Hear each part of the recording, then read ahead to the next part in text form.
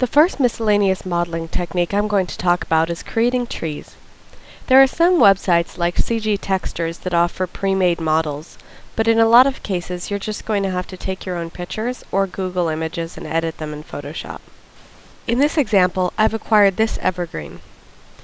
The first thing we're going to do is double click to make sure that this is on its own layer.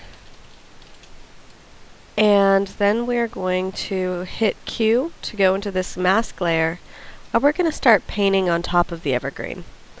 I'm going to pause the video and uh, start it up when I'm done. So as you can see, I've masked out the tree.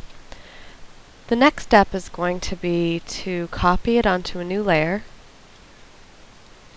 and just get rid of that. Now we can crop it down to about the minimum that it'll go and put a darker green behind it. That way if you see anything around the opacity map, it'll at least be that green color.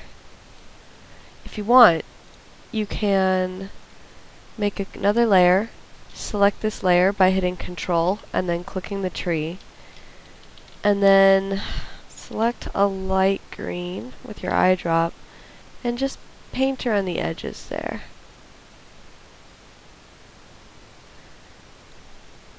You can see that some of these edges have a little bit of blue around them. But with this, we can scroll through the different um, layers here and just find one that looks good as an overlay.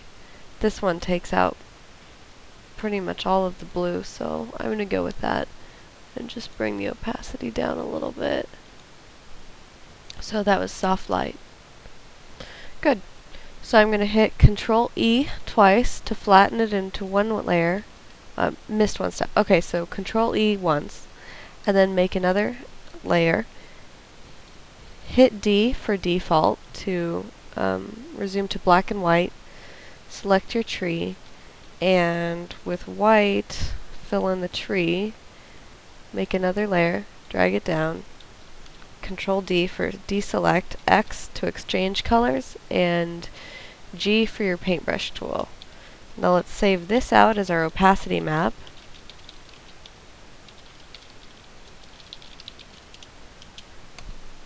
Delete these two and save this out as our diffuse. The next thing we want is a cylindrical tree. I'm going to get that by marking about this much of the tree, copying it onto another layer, and then rotating it down. I'm going to do this eight times, sampling different sections of the tree, and create an octagonal shape. I'll start the video again when that's finished. So now you can see I've got a pretty circular shape. I'm just going to hit Control E a few times and flatten these layers. If I wanted to edit it, I could enter liquify by hitting Control Shift X, which would bring up this dialog, at which point I could stretch my canvas a little bit so that it was more circular. As you can see, that just made it perfect. So next thing is to go in here and just select a middle for this.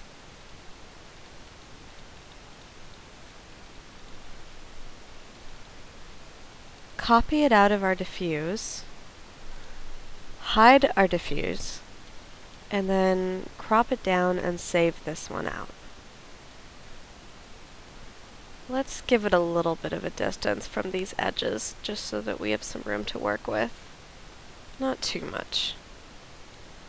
I'm going to do the same saving process for opacity and diffuse, and I'll see when I'm done. So now we're back in Max. I'm going to create a cylinder, bring the sides down to 12, the cap segments to 2, and the height segment to 1.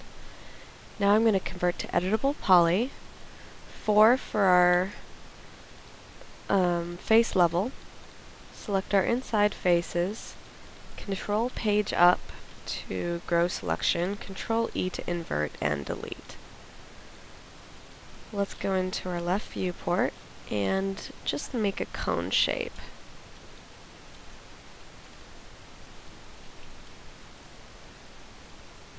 Good. Bring our tree base down to the bottom floor. And now we're going to set our material ID to 2. The reason for that is that we're going to be working on a multi-sub object material. So let's go into our material, click on Standard, Multi-Sub Object, and delete all but two materials. The first one is going to be our evergreen tree, and the second, which we reach through this, is going to be our evergreen circle. Let's load these two materials.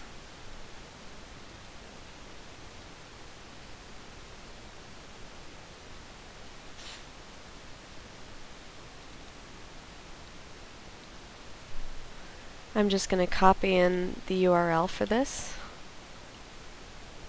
Hmm. And throw our opacity map in.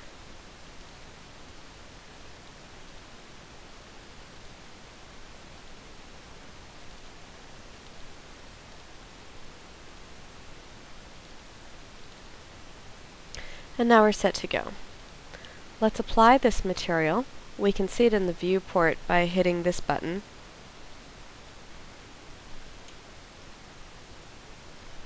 As you can see, we're looking at the opacity map because we hit this in the wrong channel.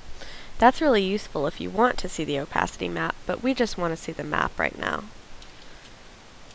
So let's go into our right viewport and we want our tree to be about 10 feet tall. So I'm going to bring it up 10 feet. You can see how much you're moving in this dialog right here. I'm going to clone to element, so that's correct. And we're going to start scaling up the bottom of our tree. I want this height to be a little bit more extreme on the angle. So just start going in and manipulating the width and the height of these branches in here.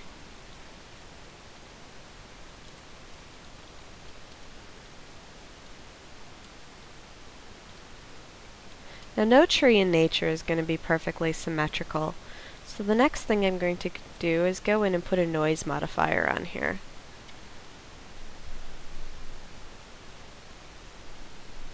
Let's bring our seed up and move this by about a, as you can see, that's way too much. So, well actually it's not too much, it's just that our scale isn't, was too big.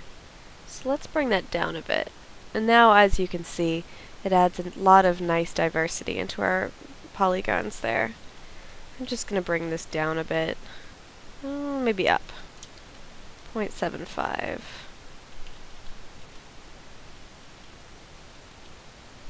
Yeah, that looks a lot better. Now it's time for the second part of our tree. Let's go in and make a plane. I'm going to keep it at about 3 by 5.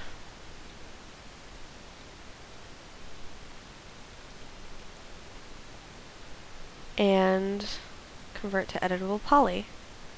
Let's make sure our material ID is set to 1. It is. And apply our material.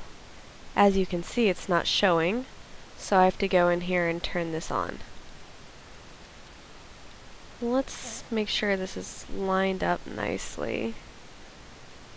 I like that. So, but the top of the tree is over a bit, so I'm going to manipulate the polygon so that it fits a little bit better. That looks much better.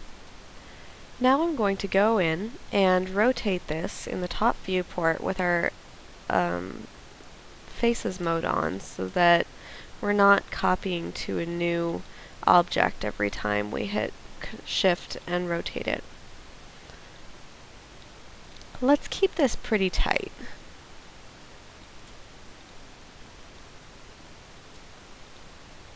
Next I'm going to throw an FFD 3x3x3 on here.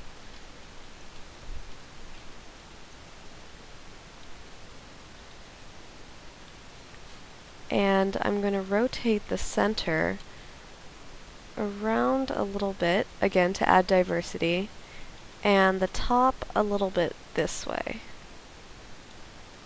I'm also going to scale it in a bit and add a noise modifier to that. If you're going to be making multiple trees, you might want to keep your noise modifier on the stack and keep these two objects separate so that you can make your trees look different before you bring it down. Let's see, if I remember this was about 20 and this was 0.75. So let's collapse this, attach it, material, yes, that's fine. And now, as you can see, we have a pretty good tree. It's a little bit stagnant and repeating in here, so I'm just going to go in and on our element level select some of these and rotate them. That'll give us a nice amount of diversity.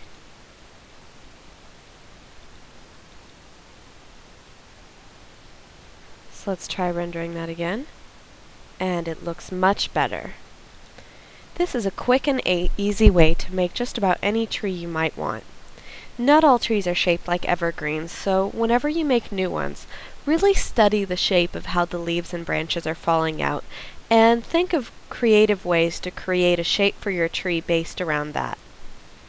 Remember um, noise, FFD, and proper opacity maps, and you'll be just